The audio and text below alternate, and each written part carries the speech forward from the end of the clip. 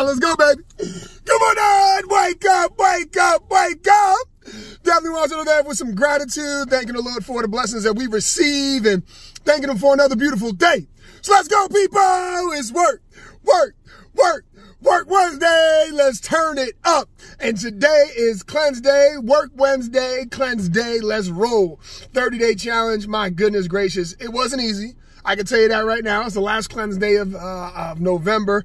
And we decided to do a 30 day challenge, part of this pilot program, some new technology coming to the IsaBody Challenge, Icy, um, IsaLife app. But um, I, I feel good. You know, I know today's going to be a challenge. Been eating, been indulging, been having fun on my shake days these last week or so. Um, but you know what? It's always a good day to reset.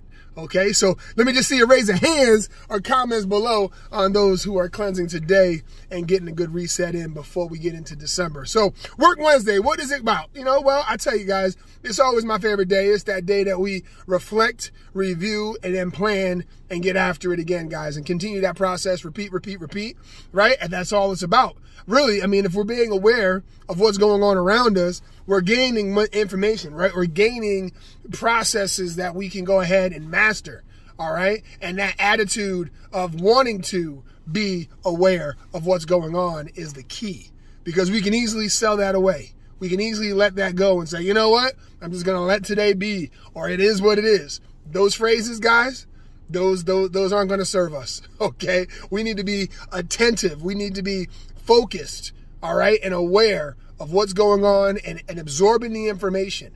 All right. Every single day is a brand new day. I can't say that often enough.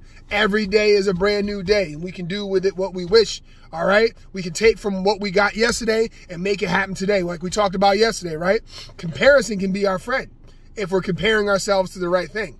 And that right thing is what we were and who we were and what we did yesterday. That's it. That's the only thing we should be comparing ourselves to is how well we performed yesterday.